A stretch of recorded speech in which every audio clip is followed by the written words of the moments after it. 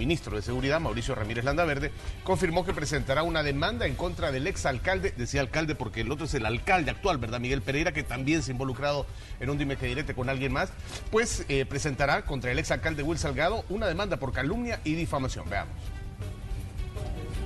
Continúa el enfrentamiento entre el ministro de Justicia y Seguridad y el exalcalde de San Miguel en torno a señalamientos por supuestas irregularidades cometidas en la ejecución del programa de brazaletes electrónicos. Mauricio Ramírez Landaverde y su equipo de abogados trabaja para demandar a Salgado. No hay fecha para presentar la demanda, pero no se descarta que sea en los próximos días. Estoy sujeto a las orientaciones que eh, mis abogados me, están brindando. De forma que eh, estoy sujeto a las recomendaciones que ellos me hagan y vamos a proceder de acuerdo pues a lo que ellos establezcan.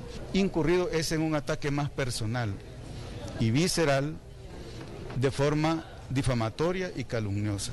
Ya es distinto, pues. Ya no estamos hablando de la labor periodística o de denuncia ciudadana o del trabajo de alguna entidad de control y fiscalización de la administración pública. Estamos hablando de una cosa diferente. Creo que los ciudadanos podrán coincidir conmigo en el sentido que ya se trata de otra situación muy distinta, ante lo cual pues yo no puedo quedarme con los brazos cruzados. El titular de justicia desconoce los motivos por los que Salgado lo ha criticado públicamente, pero aseguró que hará lo que esté a su alcance para defenderse y sobre todo desmentir las acusaciones en su contra.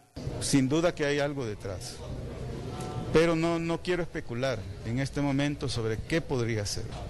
Eh, independientemente cuál sea la causa o la motivación, acá se trata ya de un delito y no es justo que venga un tipo como Will Salgado a pretender manchar el trabajo que hemos hecho acá. No lo puedo permitir.